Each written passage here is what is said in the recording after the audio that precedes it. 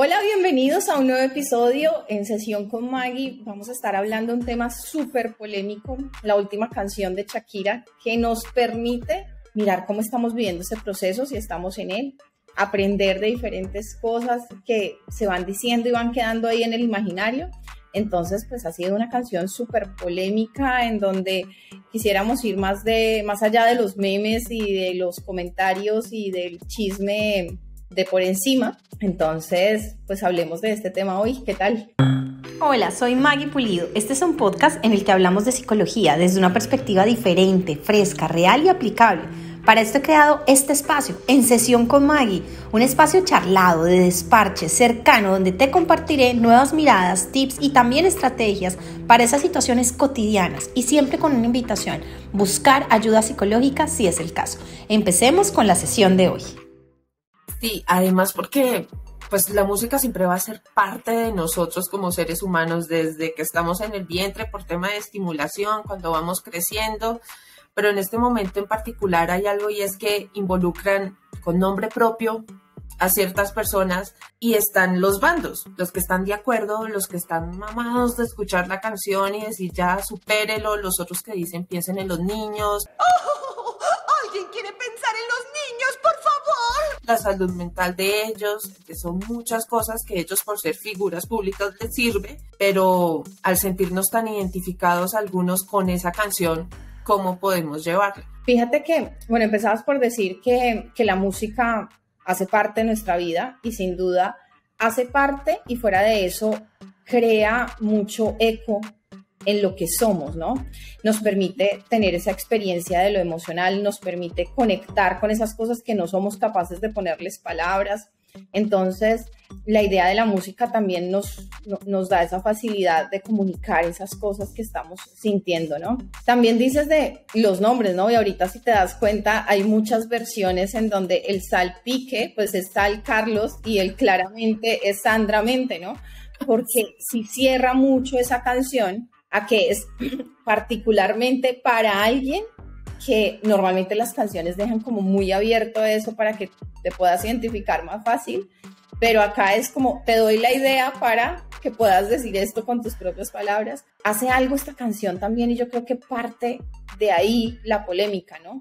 Y es que echa al suelo y pasa por encima muchos de los mandatos, ¿no? De los mandatos que nos, que, que, que nos da la sociedad patriarcal y es sea sumisa, ¿no? cual sumisa, sea abnegada, sea comedida con el tema y ella no respetó nada de esto y entonces pues ahí estás en el ojo del huracán y permitiendo como toda esta parte reflexiva a la que invito en vez de quedarnos solamente como siguiendo el chisme y tratando de entender qué, qué les pasó, porque no se va a tratar este episodio de eso, de hablar de particularmente de la relación, porque es que no sabemos nada como tal de la relación y ya a esta hora de la vida lo que sí sabemos es que lo que se muestra hacia afuera raras veces es lo que nos está pasando al interior de la relación, ¿no? Entonces, no vamos a entrar como a analizar lo de ellos, sino analizar lo que nos permite aprender las miradas nuevas que nos da la canción, ¿vale? Entonces, también comentamos, comentabas acerca de la polémica. Me parece como, en serio la sociedad otra vez haciendo esto. Y es, si lo hubiese hecho un hombre, wow, súper creativo, mira cómo conecta con sus emociones, ¿no? Está utilizando su, su, su, arte para expresarse, pero ahora como fue una mujer, entonces es la tóxica, la repetitiva, la dramática, la que cosifica, la que no tiene sororidad, ¿no? No tiene esta empatía con, con la tercera persona. Entonces, ¿cómo entra esta polémica a aprovecharse como de estos temas y a crear estos, estos bandos, ¿no? Es verdad, porque hablando de eso particularmente, en la ranchera pasa mucho eso, todo el tiempo. La ranchera siempre es algo que tiene que ver con el despecho. Sí, ahora no nos vengan a decir que es la primera vez que un artista utiliza este tipo de música para hablar de eso. Es decir, ha pasado muchas veces y ella ya lo había hecho en, sus, en otras canciones. Por ejemplo, esta de Si te vas o Sordomuda también había hecho este cantar hacia estas emociones. Entonces no es la primera vez pero entonces crea tanta polémica esta canción también porque todas esas otras canciones habían llegado en momentos en donde las redes sociales no estaban tan, en donde no nos podíamos meter más bien tener la ilusión de que conocemos a nuestros artistas, de que más que, uy, escucho la canción de ella, no es que sé dónde vive, sé cómo es su casa, su cocina, qué día que preparaba pancakes, nos da la ilusión de que los conocemos y entonces que tenemos cierta capacidad de analizar qué pasa y si estuvo bien y si no estuvo bien y de tomar partido, que es algo que pasa cuando tenemos una ruptura amorosa, ¿no? Los bandos que se crean, los comentarios alrededor, sentir, porque muchas veces sentimos que nuestra ruptura se toma el protagonismo de nuestras vidas y de nuestros entornos, ¿no? Pensamos que todo el mundo está hablando de eso, pensamos que estamos apareciendo también en redes sociales y estamos mojando periódico, pero en realidad, pues ya te lo conté a ti, tú ya tienes la información o el chisme, pero en realidad pasa como a un segundo plano en la vida de los otros, pero nosotros seguimos sintiendo que está en un primer plano, ¿no? Entonces, las redes sociales están haciendo algo muy particular con la canción, pero eso también nos pasa a nosotros, ¿no? Está el ya quitó mis fotos, ya puso las fotos con ella, ya está buscando aprobación de la otra pareja y cómo comportarse o qué hacer que te permita a ti sentirte mejor frente a ti, ¿no? Entonces, por ejemplo, frente a la última selfie que, que pone él, ¿cómo me, me, me siento? ¿Cómo puedo manejar este tipo de situaciones, ¿no? nos topamos mucho con eso, con ya él está rehaciendo la vida y yo, ¿qué puedo hacer con la mía? Entonces ahí está el camino saludable y el no saludable. Sigo dándole vueltas, sigo revisando su perfil, sigo mirando o de pronto me vuelvo y me reenfoco en mí, en centrarme en mí, en, mis proyectos, en mis hijos, en mi familia que estar haciendo ese seguimiento de si subió o no subió, si puso un estado, si puso el otro, ¿no? Por alguno de los muchísimos temas que podemos llegar a analizar sobre, sobre esta canción. Y es que están los dos lados, ¿no? Respecto a la foto, hay unas personas que pueden decir, no, pues es que si esta persona ya pasó la página, ya está con otra, pues yo debo hacer lo mismo, no seguramente estar con otra persona, pero sí pasar la página a, a los de bueno, subí una foto pero no he eliminado las mías. Es porque todavía piensa en mí. Todavía puede pasar algo. Se le va a pasar en algún momento. Sí, fíjate que ahí podríamos estar hablando de, se da una ruptura amorosa y en la ruptura amorosa se da la pérdida de un ser querido. Comparamos esto con las fases del duelo, en donde entras en la primera, que es una negación, ¿no?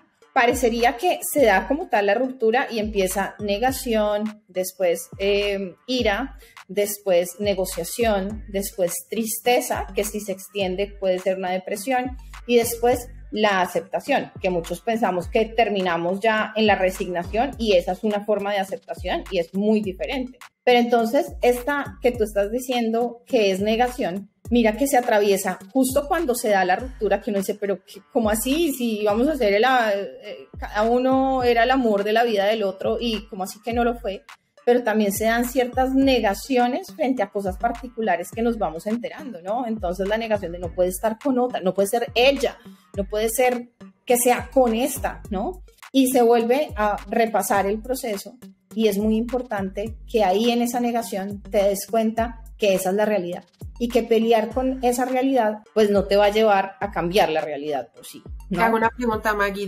dentro de estos pasos que estás nombrando del duelo, ¿se cumplen uno detrás del otro?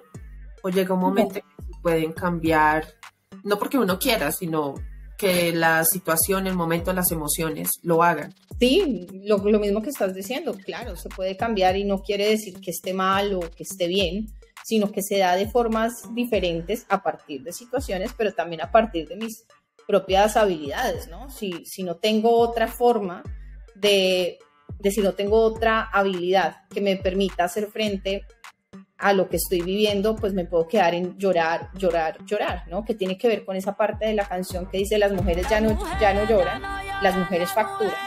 Pues de pronto es que, digamos que esto es válido para todas, eh, no es válido, ¿cómo deberíamos ver esta parte, cómo sería una forma saludable de verla. Pues hay personas que tienen algún nivel de dificultad para superar esta parte de, llorar, sin, entendiendo que el llorar es parte de nuestro sistema emocional y de una forma de hacerle frente a las emociones y no podemos de ninguna manera satanizarlo.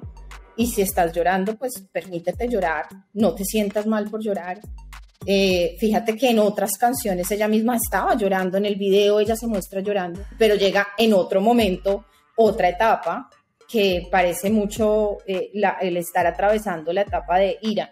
Entonces, en donde decimos, pero yo, qué estúpida estar llorando por este tipo, ¿no? Por este man. Y ya el llorar se deja como, a ver, yo, ¿por qué derramé una lágrima por él? Y entonces ya lo vemos de una forma diferente. Pero mientras estábamos llorando, pues era lo que nos permitía en esa etapa transitarlo de, de cierta forma. Entonces, el quedarnos llorando es lo que nos haría mal, pero el llorar por tal, como tal, pues no es lo que nos hace daño. Eso está bien y no es verse uno débil, es una forma de expresar el sentimiento, porque llorar no solamente se da por tristeza, también uno llora de alegría, de... Pero en momento...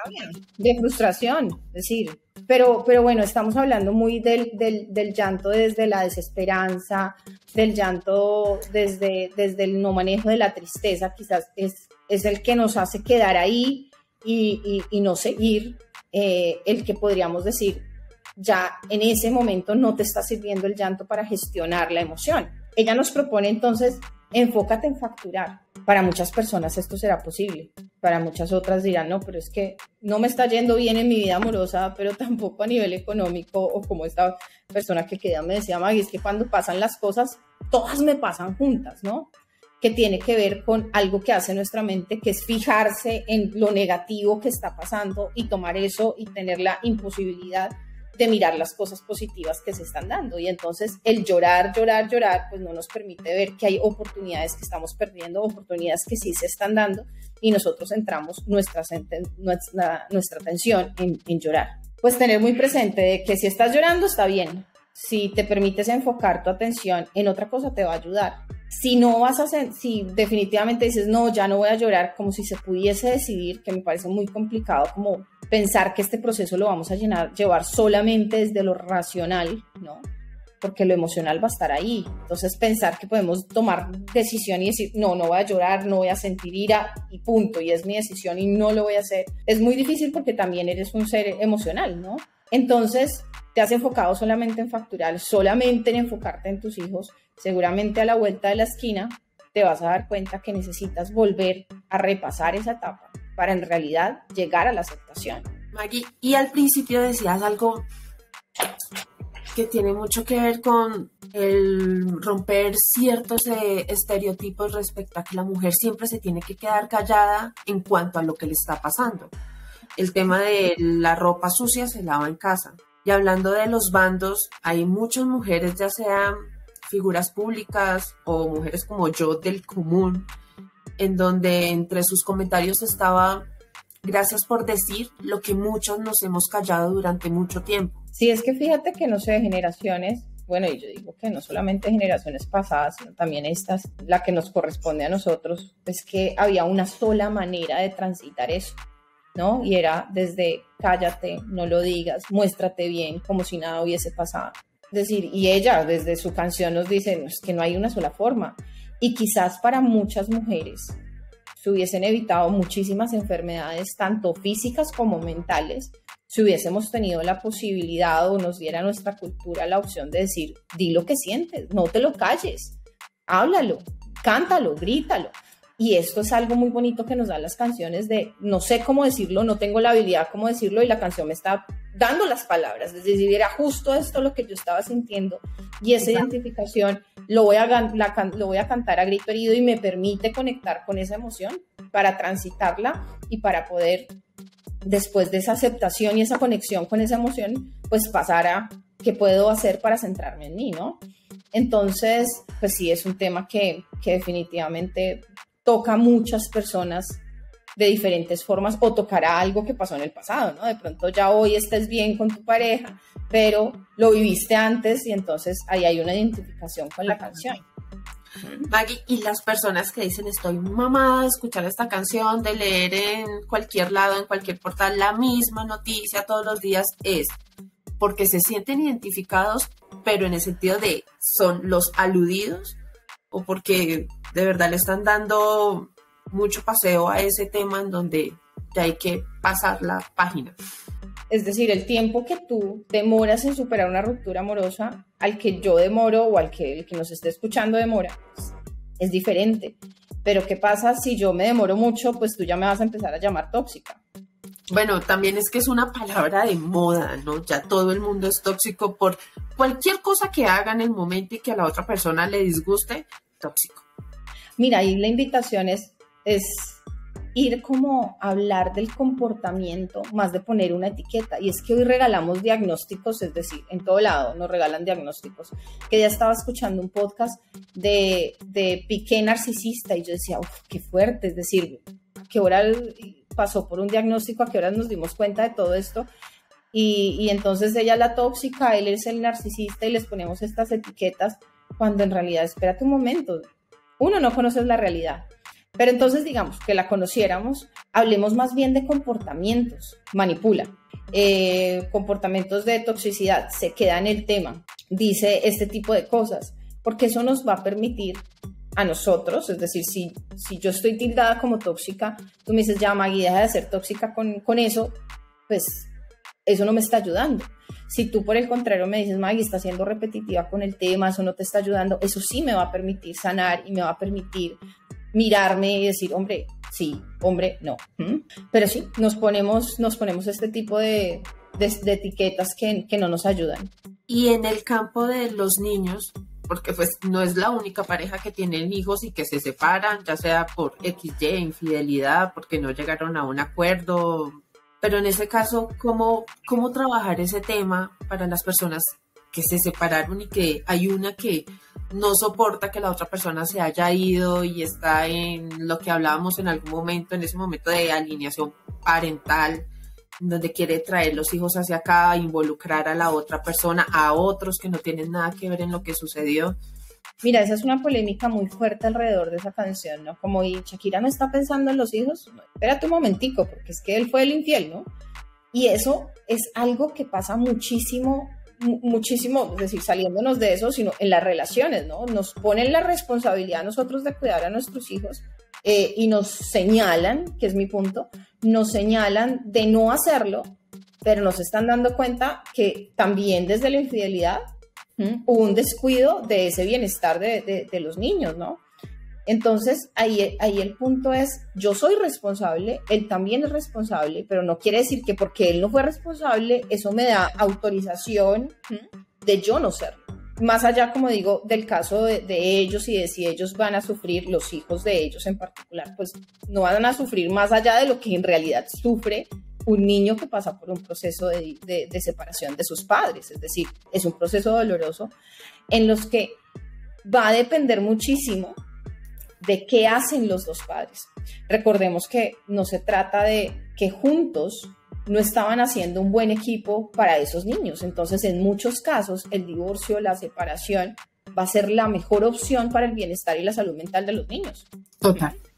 Entonces, que a mí me digan que con separarme no les estoy ayudando a ellos, un momento, ese discurso ya está súper mandado a recoger. En muchos casos, el divorcio será mejor que tener una pareja tratándose mal, en malos términos, en gritos, en, bueno, en maltratos. Entonces, la responsabilidad es de los dos, pero si el otro no sabe de esa responsabilidad, no se ha enterado de esa responsabilidad o es completamente irresponsable de, sus hijos, pues soy yo la que debo hacerlo, no, no yo no hacerlo como para terminar de empatar el cuadro. También nos hablabas de las etapas del duelo, en donde muy seguramente, claramente, se ven en las canciones de, Shakira. La primera es eh, Te felicito, ella estaba en qué etapa en ese momento. Como decíamos, ¿no? Las etapas se pueden dar sucesivamente.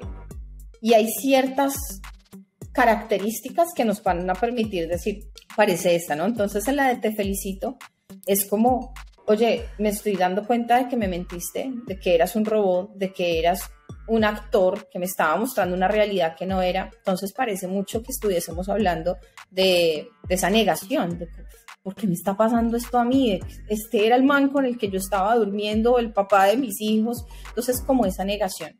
Más que todo de, la actuación de la persona y de no creer que a uno le esté pasando eso. Después viene la canción de monotonía en donde se ve otra etapa, en donde yo diría que es una, etapa de negociación. Pareciera y no pareciera por la canción. ¿Por qué? Porque ella está diciendo, no fue culpa tuya, no fue culpa mía, fue culpa de la monotonía. Entonces, como estamos haciendo la negociación de, es que mira, no fuiste tú, no fui yo, entonces arreglemos esto porque fue culpa de, de otra cosa por allá. Y entonces, en realidad ahí la pregunta es, espérate, si tú estás haciendo eso, no te estás, no estás tomando tu responsabilidad afectiva, no está tomando el otro la responsabilidad afectiva o tú se la estás quitando. No es que no eres tú, sino es que tú aprendiste de tu papá a ser infiel o tú aprendiste porque no tuviste papá, no sabes cómo actuar. Pues entonces estamos quitando la, la responsabilidad que tiene el otro. Entonces no se trata de culpar, pero se trata de asumir que esa monotonía está ahí por una cota mía y por una cota del otro. Y es eso lo que nos va a permitir decir, ok, entonces, ¿cómo podemos solucionarlo? Si es de solucionarlo o si definitivamente es algo en lo que de pronto tú no lo quieres solucionar, yo sí quiero, pero tú no lo quieras. En esa parte de negociación, a mí me parece bien, bien importante entender que uno hace negociaciones con uno mismo muchas veces y eso no es bueno para las rupturas. Pues obviamente porque si yo hago una negociación conmigo misma, pues no tiene sentido para una relación en donde hay dos. Pero yo me propongo como, listo, me dejó por una más joven, entonces voy a empezar a alimentarme mejor, a hacer ejercicio para verme más joven, a ver si él vuelve, pues hacemos ese tipo de negociaciones conmigo misma, esperando que el otro tenga una conducta en la que me voy a quedar quizás esperando, que lo que yo vea desde afuera de por qué él supuestamente me reemplazó con una más joven, de pronto no tenga que ver con eso, tenga que ver con muchísimas otras cosas. Es decir, llega un momento en que uno se puede culpar de la situación o sea, no el de estar negociando como tal, sino decir, sí, es que me dejó porque yo me descuidé, porque me engordé, porque no me ponía tacones, echarme la culpa de todo lo que está pasando independientemente de si sea así o no.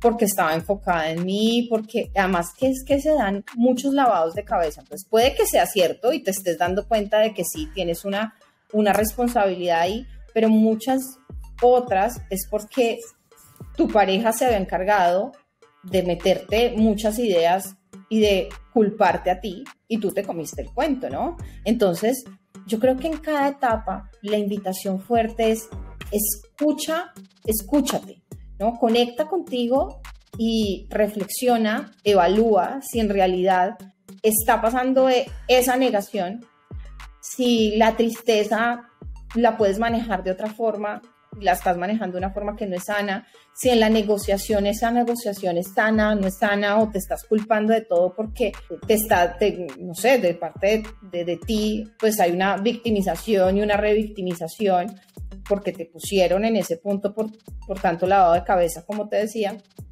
porque tú, tu forma de ser es echarte la culpa porque eres muy empática con las otras personas, ¿no? Tienes un alto nivel de empatía y entonces dices, pero pobrecito él, más bien yo me quedo acá soportando porque pobrecito él me necesita, yo soy la única persona. me decía que día una paciente, somos lo único bonito que él tiene en su vida porque toda su familia es tenaz, ¿no? Entonces yo cómo me voy a ir, entonces yo más bien negocio acá que yo voy a seguir aguantando eh, esta situación de maltrato. Entonces es preguntarse en cada etapa de esto es lo que me hace bien, esto es lo que me va a permitir crecer, ir más allá, apoyar a mis hijos, tener salud mental, ¿no? Esa es la invitación frente a cada una de las etapas. Encuentra un nuevo episodio todos los miércoles en Spotify y Apple. Si nos quieres ver en video, búscanos en YouTube. Revisemos algunas frases que a mí me parece importante rescatar. Y es que las canciones ojalá te sirvan para ver diferentes situaciones, ¿no? Analizarlas hasta con tus hijos, analizarla con tu pareja y preguntarnos como, bueno, ¿y tú qué harías en ese caso? Si yo te dijera todas estas cosas eh, de forma tan pública, ¿tú cómo te comportarías, no? Ponerse en situación, este tipo de, de, polémicas que se creen alrededor, nos permite conocer a los otros, nos permite hablar de unos temas que es súper valioso reflexionar más allá como del tema de farándula. Entonces, una de esas frases es, quédate con mi reemplazo, un acercamiento que digamos que la ruptura amorosa se ve muchísimo cuando hay una infidelidad. Y es que hay un tema y es que mm, nadie lo reemplaza a uno.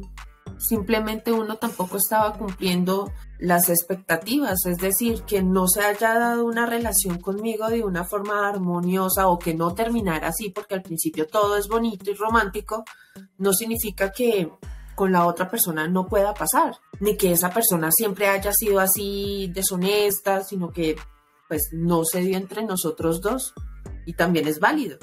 Fíjate que hay dos cosas en lo que tú me estás diciendo. La primera es que no es posible que te reemplace, pero así como lo estás diciendo, la persona que está viviendo la ruptura amorosa te va a decir, que pues es que así me estoy sintiendo, reemplazada. ¿no? Es una sensación que se da como parte de esa etapa, de sentir de, me reemplazaste por otra, me quitaste mi lugar, de sentir de, le quieres poner otra mamá a mis hijos. Se da esa sensación y entender que es parte de un razonamiento emocional. Ese razonamiento emocional, que si quieren saber más del tema, ahí están los errores de pensamiento, un video nuestro, en, en nuestro canal, en donde decimos, se da la situación, tú te sientes con rabia y entonces sacas el razonamiento de no sirvo para nada, me están reemplazando. Entonces se hacen muchos razonamientos emocionales cuando lo lógico es que no hay forma de reemplazarnos, no hay forma, ¿cómo se hace ese reemplazo ahí? Si te das cuenta, carece de lógica, pero en realidad lo sentimos, pues es que es un razonamiento emocional. No, y en este caso eh, eh, pasa en unas que dicen, bueno, yo me equivoqué, y en otras, como en este caso particular, y es, vas a cambiar por una X que nada que ver, yo sí soy, yo sí puedo hacer, yo vuelo, nado, hago todo al tiempo y, o sea, ella o él Fíjate que ahí, sin decir que es completamente saludable, si es algo que te ayuda, ¿no? El ponerme de yo sí soy, ella no es, en la otra en donde sí, tienes toda la razón, yo no soy nada, es mi culpa, pues eso me pone en un lugar en donde no puedo seguir. En el otro, pareciera que me da la fuerza al motor para, para decir, listo, ya, chao, vete tú con ella que yo valgo más. Y yo digo, eso es tan importante cuando la ruptura amorosa se ha dado o la relación ha tenido variables de violencia, ¿no? Que tú digas, tú no estás para eso, tú no estás para el maltrato, tú no estás para, para los golpes, tú eres mucho más que eso, entonces pues déjale el campo a otra. Y ahí, importantísimo, la empatía. ¿Por qué? Porque escuchaba que día de, pero es que ella no está pensando, y, creo que salió la noticia de que tenía como, como que le había afectado mucho y que había tenido que ir a una clínica. Entonces, ¿está mal o no está mal ser empático con la otra persona? Deberíamos serlo, deberíamos decirle y si es que necesito hablar con ella para decirle qué clase de personas se está metiendo, es decir, es nuestra responsabilidad, sí o no. ¿Tú qué piensas? Creo que es de cada uno, de forma individual, porque sí, en este momento se está sintiendo muy mal, pero pensó lo mismo en el momento en que se involucró en un matrimonio. sí, fíjate que ahí se habla mucho como de la sororidad, ¿no? De la sororidad que debería de tener Shakira con ella. Pero espérame un momento, ¿no? Porque, ¿y, qué pasó tenía que tener ella con Shakira, ¿no? Mi punto ahí es que en vez de decir toca ser empáticas o no, es muy importante analizar la situación particular que estás atravesando en vez de tener esto como sí, descárgate con ella, porque lo ha puesto así la, canción, entonces es algo que se debe hacer, es algo que necesitas revisar, porque si tú te estás centrando más en salvar a la tercera persona que en poner tu bienestar de prioridad, pues ahí la estarías embarrando, ahí no te estaría ayudando. Eh, en caso de que necesites decir que tu ser te diga, mira, tienes que hablar con ella porque va a estar sometida a un maltrato que no se imagina, quizás necesites sanar primero tú para después hacer ese proceso de ir a salvar a la otra, ¿no? Que ha caído en sus garras y entonces tú no lo estés haciendo porque lo quieres mucho, sino porque ya te diste cuenta de todo ese proceso y no quieres que otra persona pase por ahí. Primero necesitas sanar tú para que no sea desde la emoción, desde la rabia de, estar con otra, sino que sea de verdad desde ese voy a cuidar y voy a tener esta sororidad con otra persona. Ah, pero espera, y habías dicho otro tema, y es que en un momento la otra persona era todo bonito, todo lindo. Yo siempre me he preguntado, y por una canción eh, de Willy Colón que se llama Gitana, que dice, y el amor en dónde queda, ¿no? Que las lágrimas van al mar y, en dónde quedan todas esas cosas. Y es importante de alguna forma para hacer el proceso de duelo de forma correcta, tener en cuenta esas situaciones que pasaron antes y que nos, no decir, sí, atesóralas, agárrate a ellas, porque muchas veces el agarrarme a lo que éramos no me permite ver la realidad como está en el hoy. Pero otras veces es decir, oye, también esas cosas fueron las que nos permitieron estar juntos, tener hijos y le rindo homenaje desde mi actitud responsable afectivamente para no irme por, por el rencor, la rabia. Entonces es importante que mires ese pasado y digas, me está ayudando a atesorarlo, me está ayudando a reconocerlo, muy particular en el caso tuyo, en el caso particular.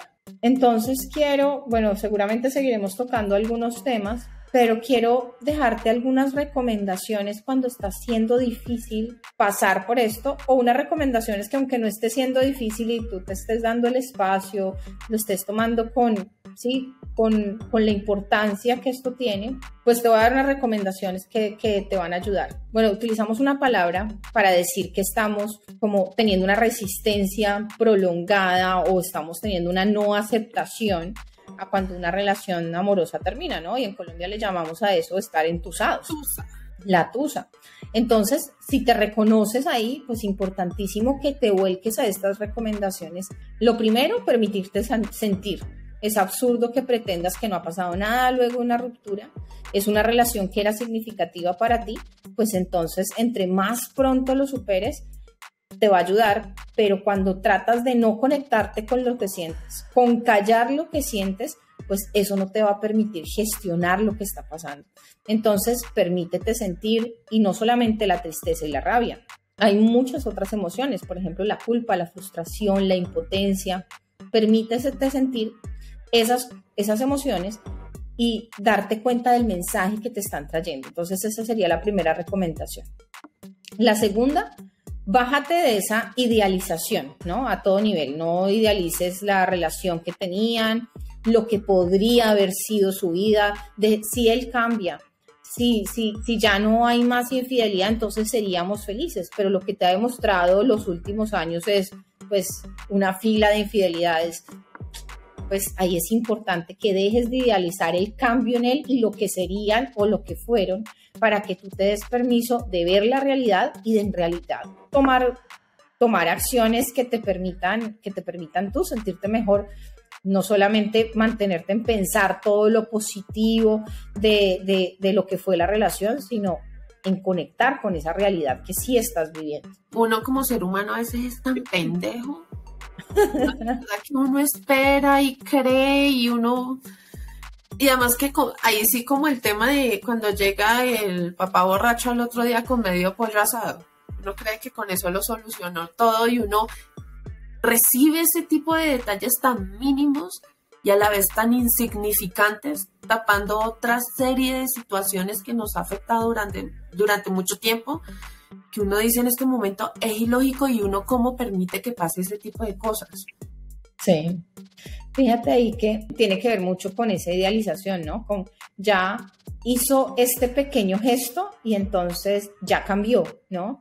Y no nos damos cuenta del factor de manipulación en el que nos hemos dejado meter y estamos jugando como si también lo creo y otra vez vuelve y otra vez venga la mentira y otra vez venga el maltrato y otra vez creo y nos metemos como en ese ciclo, ¿no?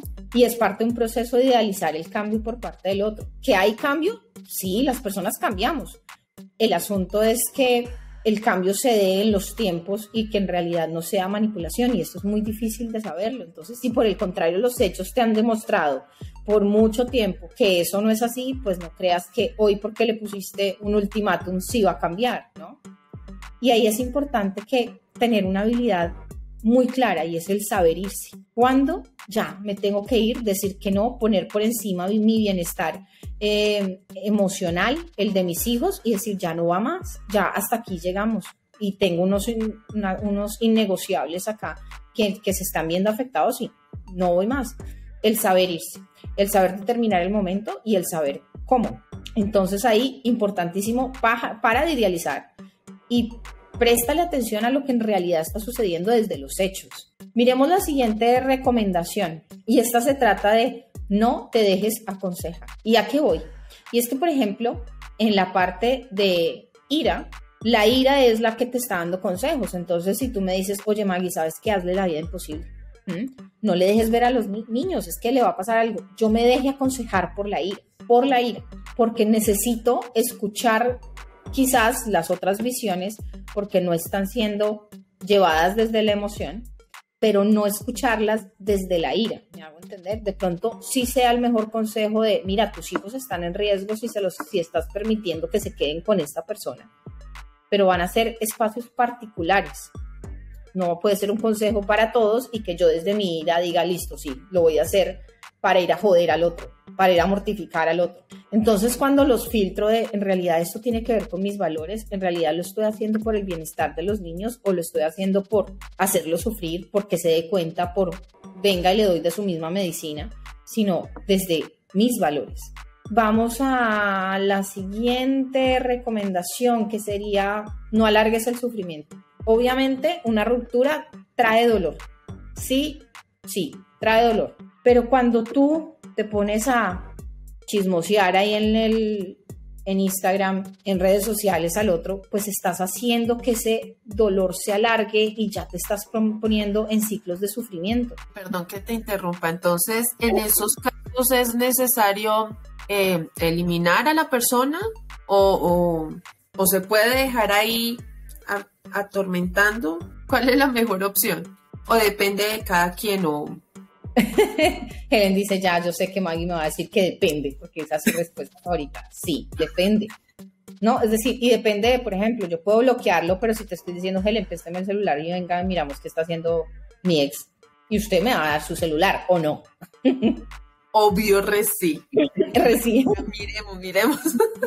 y me saca el pantallazo y me lo envía. Entonces, ese tipo de, estrategias, que lo conocemos como contacto cero, claro, van a ayudarnos, nos van a ayudar muchísimo, pero haciéndolas bien, ¿no? Y sabiendo que en muchas situaciones el contacto cero, cero, cero, pues va a ser imposible porque tenemos, por ejemplo, unos hijos, porque tenemos, digamos, bueno, no hay hijos, pero tenemos una cama que vender, cosas que solucionar, que me devuelvas mis cosas, que yo te devuelva las tuyas, que cómo vamos a hacer con esta deuda. Entonces, no podemos quedarnos en contacto cero en muchas situaciones y eso no significa que no puedas sanar.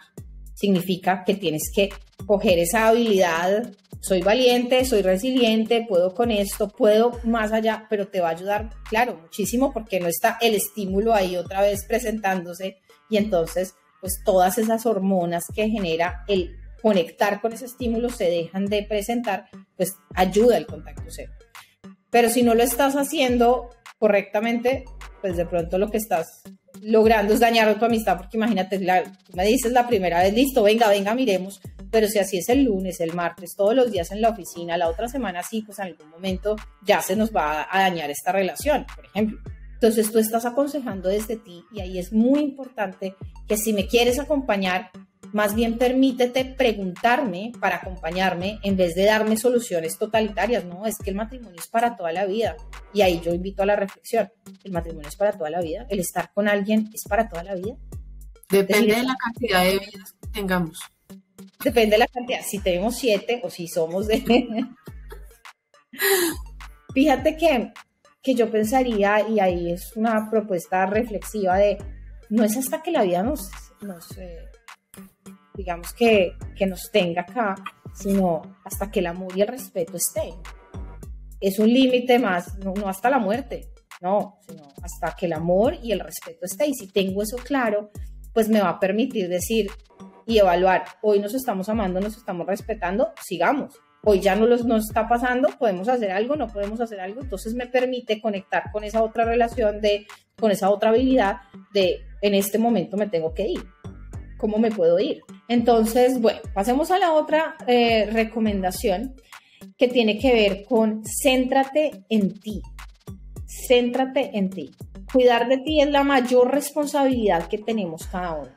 No, que voy a ver si lo está pasando mal, es que lo están tratando mal porque pues su familia me quería mucho, voy a hablar, no, céntrate en ti. Es muy importante que te centres en ti, en cuidar de ti. Eh, claramente, No es tú esta palabra. Tuvieras a mi hija. Patitos como tú. Patitos como. Listo. Siguiente recomendación.